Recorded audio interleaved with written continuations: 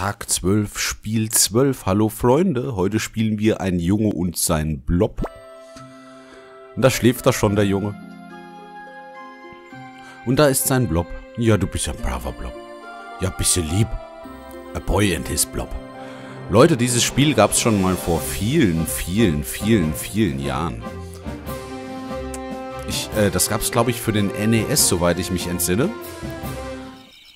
Und da habe ich das gespielt damals und ich fand es total geil. Und jetzt gibt es dieses Remake hier für den PC auf Steam. Das habe ich mir natürlich gleich zugelegt, um mal zu testen, ob das noch genauso charmant und putzig ist, wie es das damals war. Jedenfalls ist es wesentlich lauter als damals. Ich darf den Jungen jetzt spielen, ich kann hüpfen. Im Moment kann ich noch nicht viel mehr machen. Da sind hier irgendwelche Sachen. So, mit den anderen Knöpfen geht auch noch nichts. Na, dann laufen und hüpfen wir einfach mal. So, da soll ich runtergehen. Ich gehe natürlich erstmal hoch. Wie man das halt so macht als Boy. Ohne Blob. Okay, ich kann nirgendwo runterfallen. Habe ich jetzt hier Schaden genommen durch? Ich weiß gar nicht, ob ich Schaden nehmen kann. Das ist ein Ladebildschirm mit einem merkwürdigen schwarzen Vieh. Und wir gehen jetzt... Hui. Da hatten wir gerade mal massive Frame-Einbrüche. Ich nehme an, dass das an meinem Aufnahmeprogramm lag. Okay. Das ist wieder ein kleines Rätsel-Jump'n'Run. Davon haben wir ja schon einige gespielt hier im Rahmen des Adventskalenders. Und wir hüpfen mal unseren Weg fröhlich vorwärts. Bist du, bist du Freund oder Feind? Ich weiß es nicht. Kann ich das Ding da öffnen? Hallo? Ich glaube, er ist der Feind. Na gut, aber man stirbt ja gar nicht richtig. Und deswegen weichen wir jetzt mal aus. Ich wüsste so gerne, wie ich Schatztruhen öffnen kann. Scheinbar kann ich das gar nicht. Oder ich kann das erst später. Hopp. Ah, hat er mich doch voll erwischt. Ihr könnt ja mal einen Death Counter laufen lassen für diese eine Folge, die wir hier spielen werden. Wie oft ich hier drauf gehen werde. Ich werde jetzt nicht zu diesem Blob gehen. Und ich kann auch mit diesen Dingern hier nichts machen. Ich kann im Moment... Ich kann das schieben, okay. Das muss ich sogar, weil ich sonst nicht diesen kleinen Abhang hochkomme. Dieser Junge ist definitiv sehr unsportlich. Das muss ich gerade mal sagen. Da oben ist ein Frosch. Kann ich das jetzt irgendwie... Wo ist überhaupt mein Blob? Ich muss da ran. Habe ich mich jetzt in eine Sackgasse reinmanövriert? Ich kann nichts machen. Zum Versteck zurückkehren, ja. Wir versuchen mal was anderes. Ah, so, okay, das ist einfach nur ein Neustart. Okay, okay, ich krieg das hin. Bleib mal ganz unentspannt. Da hinten kommt jetzt wieder das Ding runter. Ich könnte ja einfach mal bei der Steuerung nachlesen. Controller springen, Bohnen werfen, Blob rufen, Bohnenauswahl, Blobcam, Flip, Blob, Blob umarmen, ausschimpfen, Vibration an. Da kann ich mich daran erinnern, das konnte man alles machen, aber warum sollte ich denn meinen Blob ausschimpfen? Ich will erstmal hier gucken. Ich kann hier tatsächlich mit dem Steuerkreuz nicht machen und mit dem kann ich auch nichts machen. Okay, okay, okay. Bob. Vielleicht hätte ich einfach woanders hingehen müssen. Das ist ein sehr schöner Ladebildschirm, nämlich mit dem Boy und seinem Blob. So, jetzt hüpfen wir wieder unseres Weges. Ich muss mit Sicherheit diese Schatztruhe irgendwie aufbekommen. Aber ich weiß nicht wie.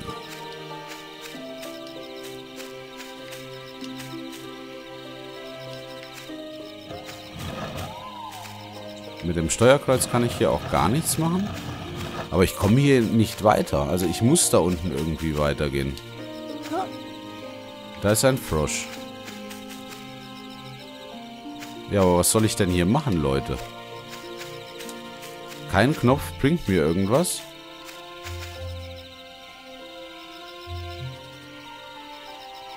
Das ist sehr... Ah. Ah, na guck mal an. So einfach ist es manchmal. Man muss einfach nur auf Sachen draufhüpfen, um sie kaputt zu machen. Das ist wie im echten Leben. Kann ich das auch mit den Truhen machen? Nee.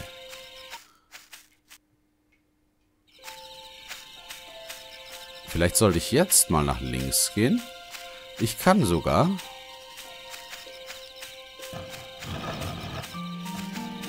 Na komm. Wie kann ich denn diese doofen Schatztruhen öffnen? Ich will doch nur die Schatztruhe öffnen. Ach so, jetzt muss ich wieder unten rumgehen. Das ist auf jeden Fall schon mal sehr interessant, aber auch ein bisschen nervig und ich wüsste echt zu gerne, wie ich Schatztruhen öffne. Da stand ja nur auch nichts von in der Bedienungsanleitung und die Knöpfe tun alle nichts. Also so nichts, wisst ihr? Da ist auch eine Schatztruhe. Ein Knopf, zwei Knopf, drei Knopf. Nein, sie tun nichts. Na gut, gehen wir weiter. Ich möchte ja so gern mal meinen Blob finden. Kann ja nicht sein, dass ich hier eine Viertelstunde rumlaufe, ohne meinen Blob zu finden. Hallo? Ah! ah! Erschreck dich nicht, das ist nur ein Blob. Ja, erstmal A und dann come on, ne? Ja, hallo? Ja, bist du lieb? Ja, bist du lieb? Ja, du bist so fein. Ja, was bist du so fein? Oh. Oh, das war süß. Das war so süß. Bob. Okay, hier kann ich nicht weitergehen. Äh. War doch irgendwas mit Blobcam. Over here. Okay, wir nehmen den mal mit.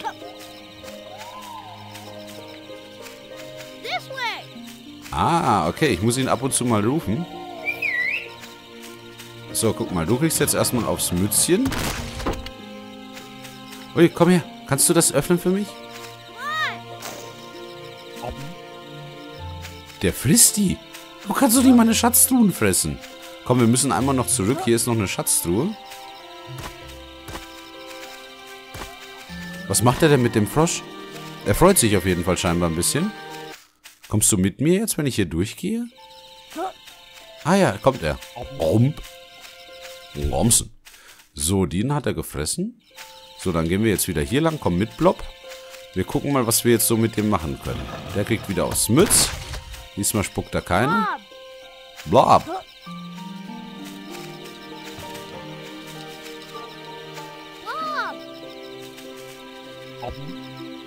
Abom.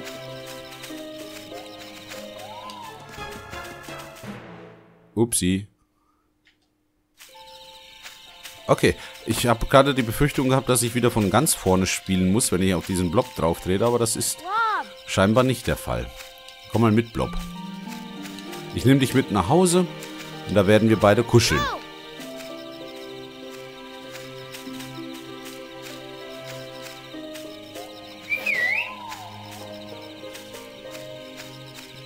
Zurück ins Haus. Ich habe gerade, ich habe gerade auf meinen Timer geguckt. Zehn Sekunden lang nichts gesagt. Boah. Boah. Boah. Was machst du damit? Zehn Minuten oder zehn Sekunden habe ich gesagt. Ich weiß nicht, was ich gesagt habe. Ich wollte sagen zehn Sekunden. Das war eine ganz schön lange Zeit. Der hat mir ein Krokodil ins, ins Dachgeschoss geschissen. Okay, jetzt finden wir Dinge heraus. Nämlich, komm mal das, wir. Komm mal her.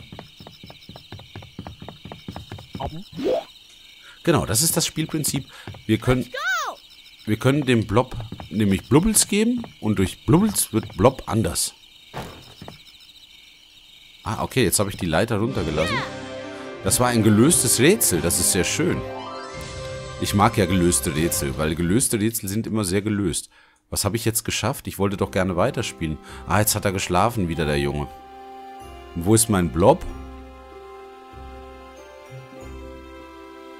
Das war scheinbar sowas wie das Tutorial-Kapitel, das wir da geschafft haben. Okay, ich will mal zu dem Krokodaxel da hoch, ne? Was ist das da? Was macht dieses Krokodaxel? Hallo, Krokodaxel? Das macht gar nichts. Das ist einfach nur da. Okay, und was macht das da? A. 1. Ist das ein Level jetzt?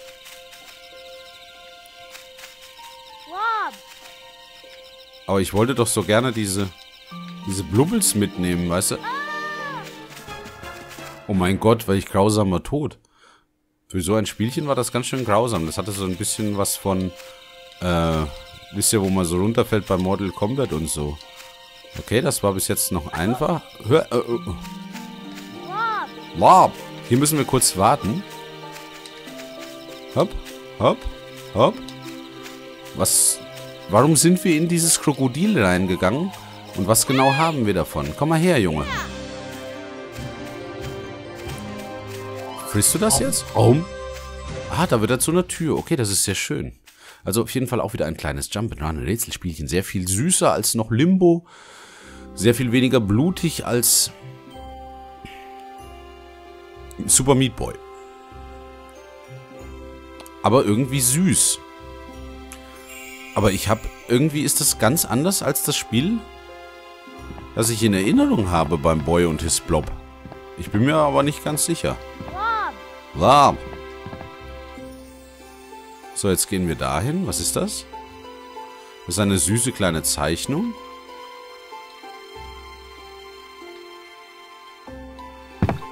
Okay, das ist so eine Art Level-Design-Bonus wahrscheinlich, ne? Jetzt gucke ich mal in diesen Wald hier rein. Ist das ein Level oder was ist das? Okay, das ist nur zum Gucken. Ah, okay. Drei Schatztruhen ist wahrscheinlich sowas wie Sterne sammeln bei Super Mario. Das wissen wir jetzt auch schon mal.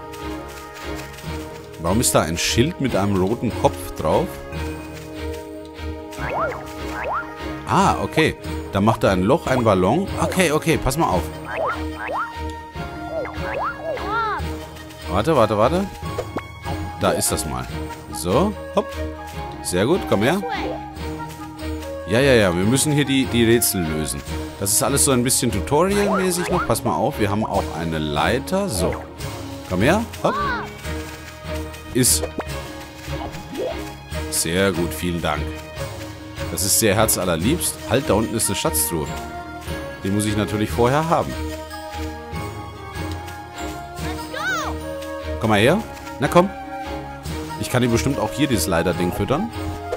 Ich weiß gar nicht, ob ich nur eine begrenzte Anzahl davon habe. Oder ob ich das unendlich machen kann. Komm her. Ich schmeiße ihm schon mal so ein Ding auf den Boden. Dann können wir nämlich hier hochklettern. Aber ich möchte erst da unten gucken. Äh, vielleicht ist hier nämlich eine Schatztruhe. Hier soll ich ein Loch machen. Aber dann falle ich doch ins Wasser und ersaufe. Hier soll ich eine Leiter machen. Das ist ganz schön viel zu tun. Wie komme ich nochmal zur Blobcam? Okay, brauche ich gar nicht. Da ist er schon. Lustiges Spielprinzip. Komm her. Romsen. Sehr gut. Abu. Ähm, die Frage ist, wo will ich denn jetzt eigentlich erstmal hin? Ich könnte ihm hier ein Loch zu fressen geben, damit der schwarze Blob da reinfällt. Komm mal her. Da frisst das mal. So, und jetzt wird der schwarze Blob ins Wasser fallen und wird sterben.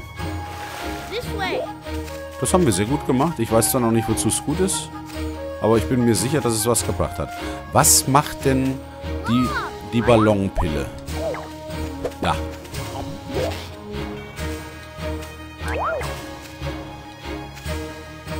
Da wird er zum Ballon und das bringt mir genau was?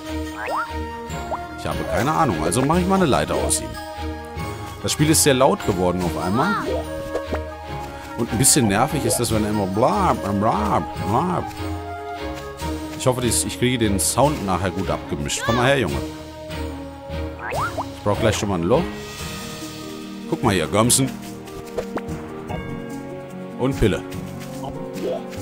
Sehr gut. Ja, das haben wir eben schon mal gelöst. Das will ich nicht nochmal machen.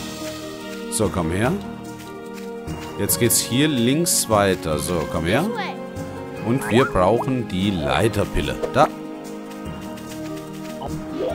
So, wir wollen natürlich keine äh, hier Drogensucht und so weiter, ne? Wisst ihr Bescheid, aber was ist das für ein, für ein Vieh? Nein, ich, ich will, dass du ein Loch machst. Sehr gut. Den dicken, den lassen wir auch in ein Loch fallen.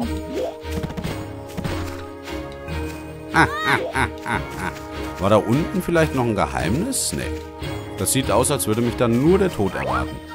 So, und schwupps. Das scheint eine neue Fähigkeitenbohne zu sein. Sehr gut, das haben wir auch geschafft.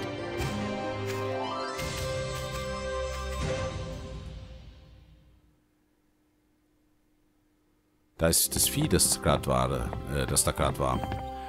Das scheint tatsächlich unsere Level-Map zu sein. Jetzt kotzt er wieder Kisten aus. Und was kotzt er uns diesmal ins Wohnzimmer? Ein, ein, ein. Ein Steinkopf. Gut.